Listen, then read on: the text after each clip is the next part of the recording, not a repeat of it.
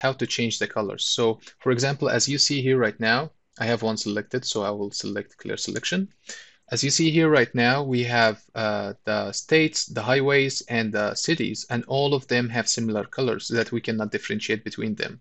So what we need to do is to change the colors, so what we call symbology, to make it more visible for us. So we're gonna leave the state green the way it is, and we're gonna come to the highways, we're gonna double click on the line itself right here, not like here. If I double click here, it's not gonna, it's gonna open the properties of the layer, but I have to double click on the symbology itself.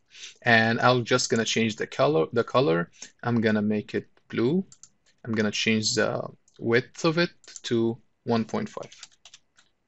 And there's so many options here that we can select from.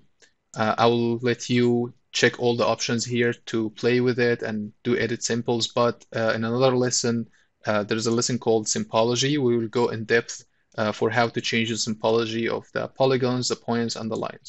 So here we're just showing an example of how it will look like. Now we have the lines more visible for us, and it's a little bit thicker, and it looks in blue. Now we have the cities kind of hidden because it's uh, green. So let's go and change the cities as well. And because this is a point symbology, uh, we can be able to select a different kind of symbology other than lines. So for example, I'm going to select the circles and I'm going to change the color of it to red and click OK. Now I have my cities, my states, and my highways in different colors. Uh, I'm going to change the, the width of this line to 1 again because it looks a little bit thick. So now if I go full extent again and zoom to the US, it's going to show in much better way than we we saw it in the beginning. Now we can see the states in green, and you can see the the lines and uh, the highways in blue, and you can see the cities. So this is basically the symbology. Oh, and just for the purpose of seeing how it will look like, let's change the state to be uh, light blue. And we can select, and we can also change the outline. So here we change it all the states to have blue, but we cannot see the difference between the states because we didn't change the outline.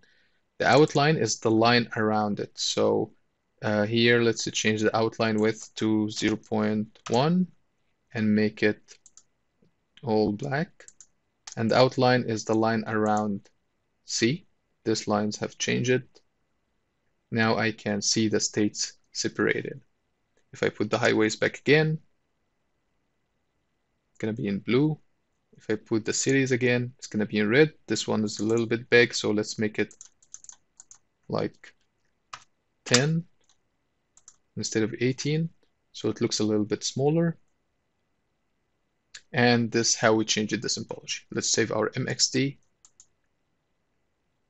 And at the end of this video, I want to thank you so much for having the time to watch the video if you are interested to learn more about ArcGIS products, please go to arcgismastery.com and you will see that we have a lot of selection for online training courses, starting by ArcGIS Desktop and another products like ArcGIS Online, ArcGIS Pro, ArcGIS Enterprise, and so many more. We also have coming courses that you can subscribe to and enroll right now and get a 50% discount and we will appreciate it if you leave a comment below and let us know what exactly you need to see in this course so we include it in the course for you. And lastly, I will encourage you so much to subscribe to our monthly updates so you can stay updated with what Esri do. At the end, I wish you all the best and thank you so much for watching this video.